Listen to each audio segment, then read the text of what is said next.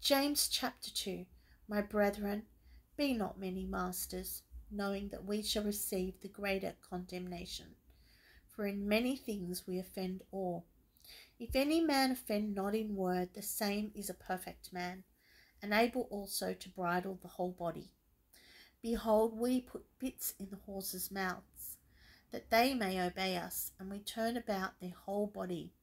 Behold also the ships, which though they be so great, and are driven of fierce winds, yet they are turned about with a very small helm, whithersoever the governor listeth.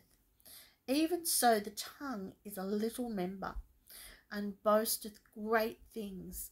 Behold how great a matter a little fire kindleth, and the tongue is a fire, a world of iniquity. So is the tongue among our members, that it defileth the whole body, and setteth on fire the course of nature, and it is set on fire of hell.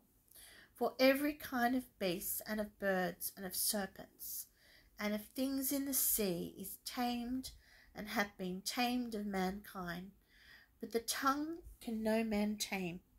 It is an unruly evil, full of deadly poison.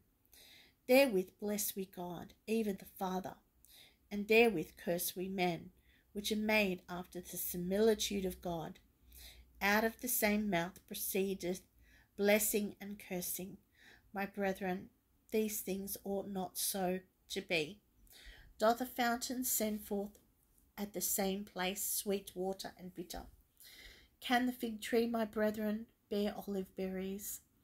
Either a vine, figs, so can no fountain both yield salt water and fresh.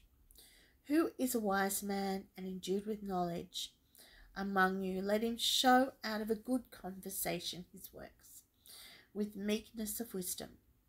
But if ye have bitter envying and strife in your hearts, glory not and lie not against the truth. This wisdom descendeth not from above, but is earthly, sensual, devilish. For where envying and strife is, there is confusion and every evil work.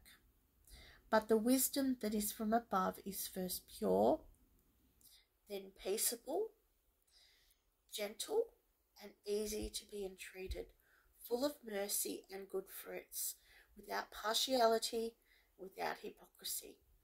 And the fruit of righteousness is sown in peace of them that make peace.